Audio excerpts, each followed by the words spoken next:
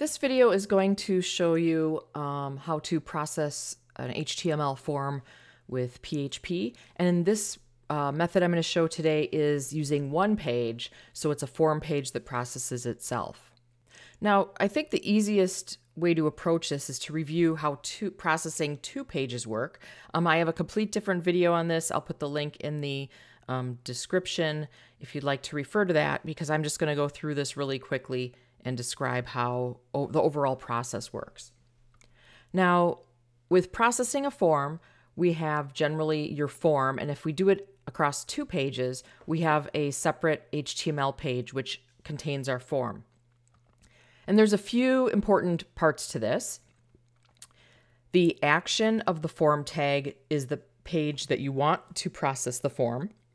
So in this case, when we hit submit, it will then go to processform.php. Now the name of this just needs to match the page you're going to. It does not need to be called process form.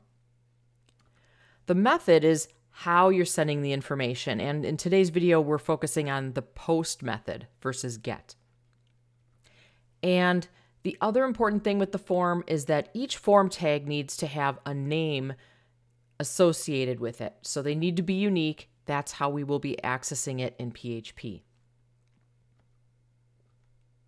So when we push submit on the form, it will then trigger the action and navigate to the page listed in the form's action tag. And in this example, it was going to processform.php. And then, of course, we're processing it. So, like I said, I have a different video that goes over the details, but in this case, I've got a variable to hold the value. And in the request, in that uh, square brackets, that is the name of the um, text field I'm pulling the value from. So that needs to match the name of the field on the form. Now, if I want to switch this to one page, it's essentially the same process, but it's all contained in one file. So before we had two different um, pages. We had our form HTML, which contained the form um, tags and HTML, of course, and then we had a separate page processing it. So what we're going to do is put that all into one page.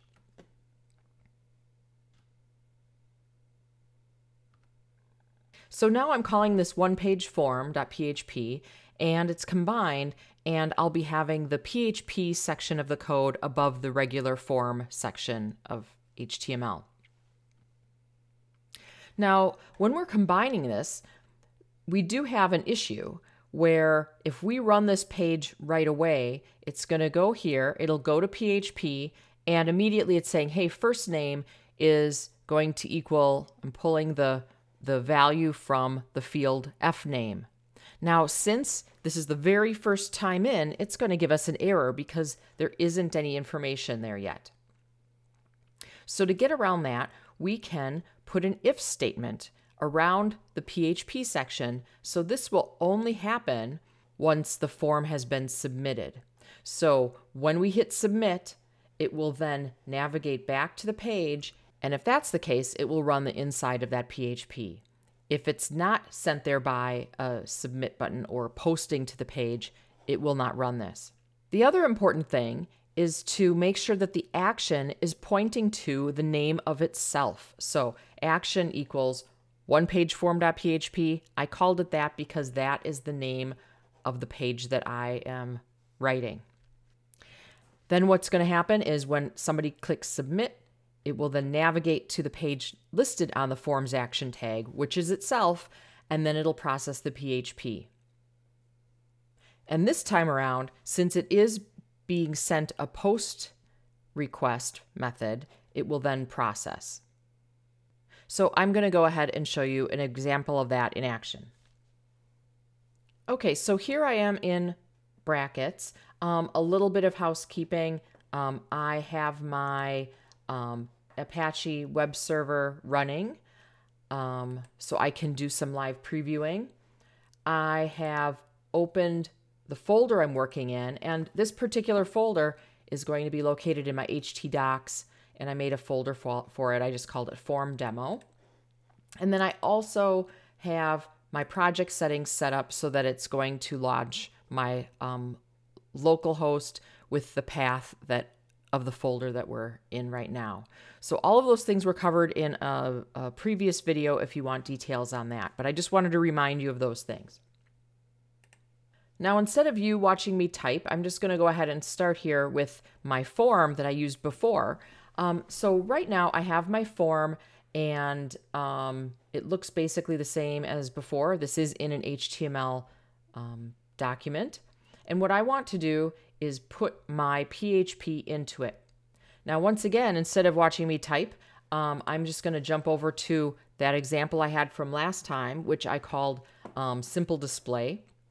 And I'm going to grab that entire PHP um, tag section. And I'll go through that in a minute if you didn't do that um, that other process. Now, in the future, you could certainly just go right to the single page um, form processing. I'm just doing this so that you don't have to, like I said, watch me type it all, but I'll go through it. So I've got my form, and I'm going to be putting that inside my body. And then I'm also going to now save this as a PHP document. So uh, I'm going to go ahead and say File, Save As. I'm just going to keep it in that same folder.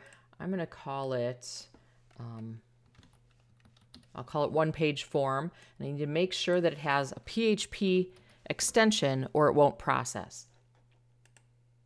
So now that I have that there, pretty much what we've got is our PHP section, which is this, and our form section.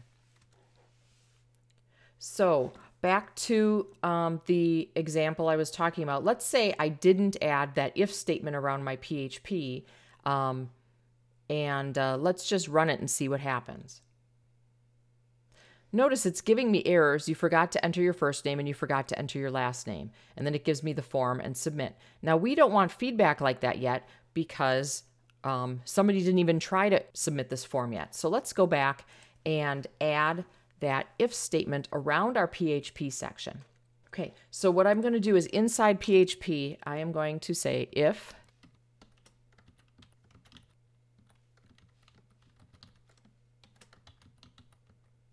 server request method equals post. So that means is it sent there by a form? I'm going to do open curly brace and I'm going to do the closing curly brace all the way at the end of this PHP tag.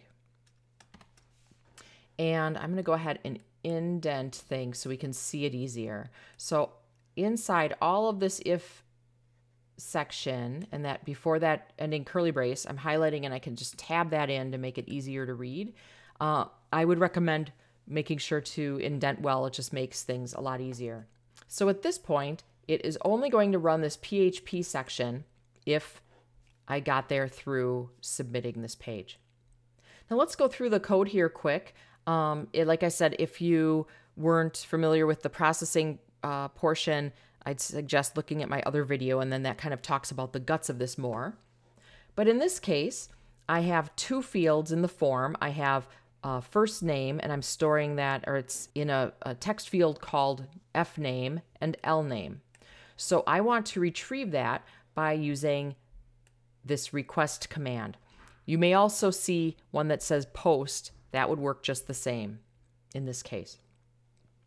So I have an if statement here for each field to check to see if that field is not empty. So that exclamation point means not empty the field F name. So is the first name not empty? If it's not empty, as in it has something, it's going to take what's in it and put it into the variable first name. Otherwise, I'm setting the variable first name to an empty string just to have something in there, and I said, you forgot to enter your first name. And I did the same thing for the last name. So I'm checking to see if last name is not empty. If it's not empty, I'm going to be setting it to a variable. Otherwise, I'm setting the variable to an empty string and giving an error. And then at the end here, I did put it in an if statement just to hide it unless everything was entered. So I'm checking to see if last name is not equal to an empty string and first name is not equal to an empty string. So if they are both have something, it will then say, thank you, first name, last name, which would be whatever they entered for filling out the form. And this will only run if I run the form and hit submit, because then it will return a request method of type post. So let me save this and try it out. Okay, so notice we're not getting an error. However, if I hit submit and don't enter anything, it does say you forgot to enter your first name and you forgot to enter your last name. And you know what? I actually have an error here. Notice that I don't even see my form and it is going to a page called Simple Display. I forgot to change my form action. So I need this to go to one page form and not simple display. That was something I used last week. So let's close this up. And I want this to go to itself, to process itself. So the action needs to be one page form.php. And when copying and pasting, I find that um, personally, I find that to be an error that I make frequently. Um, I have students who um, make that error frequently. So it's actually pretty good that I, I forgot to change that this time around. So I'm going to save it and let's try it again. So once again, we've got our form. If I hit submit, now it just says you forgot to enter your first name, you forgot to enter your last name, and it pushes that form down. So we are still on one page form.php. So that's great. So let's enter something. So how about um, John? How about John Jones? That's fine. And I hit submit. Now it says, thank you, John Jones, for filling out the form. Now in a later video, I will be showing how to get rid of this.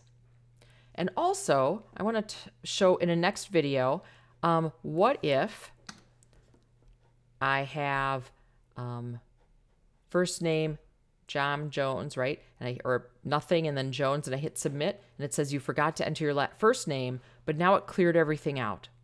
So I'm going to show my next video on how to keep values in fields even when the, the page is refreshed.